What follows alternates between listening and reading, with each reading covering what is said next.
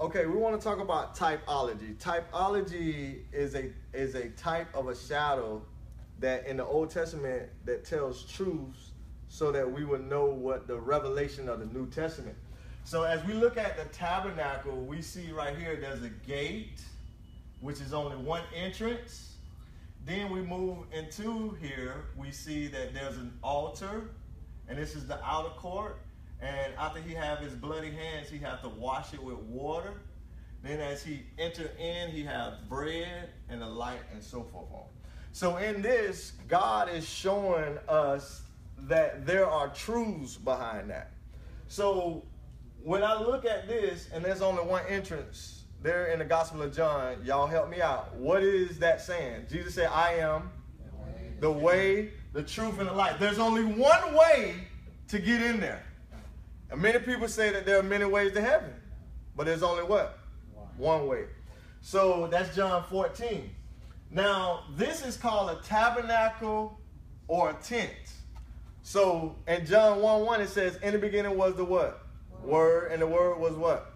With, with God. And he is God. But then John 1 14 says, And the word became flesh. flesh. And that's the same word as tent or tabernacle. So what it's saying is Christ came and what? Tabernacle among us. So as he tabernacle among us, he's showing us that he is the way. And now what what is what what is going to be on that altar? A sacrifice. So in John 1:29, behold the what? Lamb the Lamb of God that takes away the sins of the world. Okay? So as we continue to move through the Gospel of John, we already see He's the way, the truth, and the life. He is the Lamb of God that takes away the sins of the world. And then John chapter 4, he says, At the well, I am the what? I am the living water. What is in there? Water.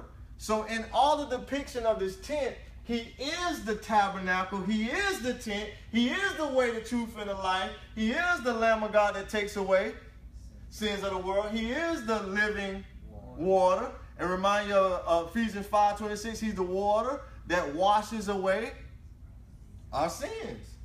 So as you move through there, then there's the showbread. What, what did Jesus say in John 6? I am the bread of life. So you have the manna, you have the bread, and then the next thing you have is what? The candlesticks. What, what is on the candlesticks? The light. What did Jesus say? I am the now, he did not only say that he is the light of the world, but if you go back to John chapter 1, he said he is the light of life that lights all life. But the main emphasis of life is eternal life. So, do you see the depictions that not only the tabernacle and tent, all that is these depictions is when Christ came to dwell in the Old Testament, he's showing everything that he would come to do. He would, he would come to show us the way because God's presence is way back there. And in order to get there, we must go through him. Do y'all see that? Now, we have the priests. Now, the people can come here, but they can't go no further. And in the Old Testament, a priest can come in that court, but only a high priest can go well. And the holies of holies. Every day? Yeah. So these were daily. You can get your bread, you can get your water, you can get your light. But in order to be in God's presence, there has to be a blood. Hebrews 9.22 says, without the, there is no no remission of sin. Leviticus 17.11 says, life is in the blood. So a lot of people say, well, when certain people say they don't say about the cross and they don't say about that, if you say one lost his life and he lost blood, that same is synonymous of losing your life. That's death. So the priest can daily go in there, but only once a year he can go into the holies of holies. What must he bring in order to go into the holies of holies? Blood. blood. So this blood that comes off of this altar is pouring into a pitcher. It was called a basin then that day. Also, you will have to take coals off of there because before you go into the holies of holies, you got to light up candle, but it's incense. Off of that altar and put in there. And as you read Revelation, it says those incense represent prayer. Do we not remember John 17? What, what was that? The high priestly prayer. So he goes up. So then now he brings that blood, and there is the mercy with Aaron's rod and the wood and all of that stuff. Now, as you go there, even that that is plated with gold, up under that gold is wood. What must be poured on the mercy seat? On and if it's up, what's up under the gold? Wood. So that's already the depiction that blood must be poured on wood. So do we see that in every depiction is showing Christ? Now, turn to the other picture for me right quick, Alan. Anybody got any questions right quick? Am I helping y'all any? Because without these visuals, you can't.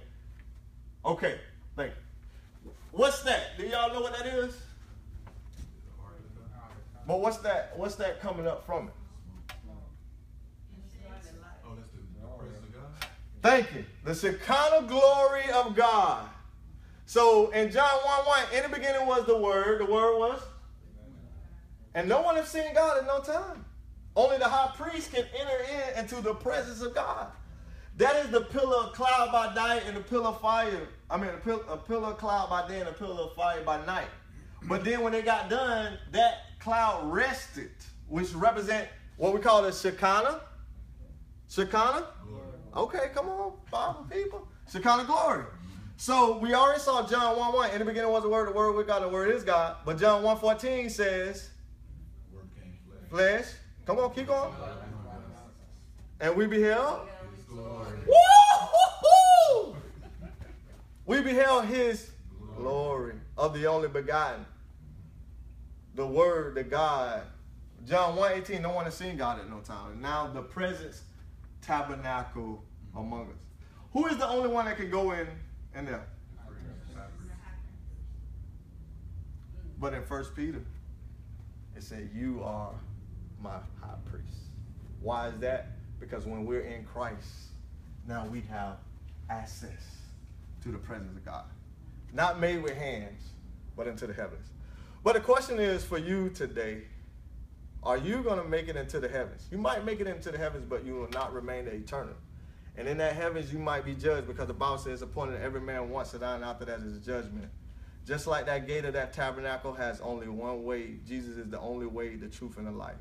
Pick up your Bible, turn to the Gospel of John, look for these truths today because Jesus is the only way, the truth, and the life.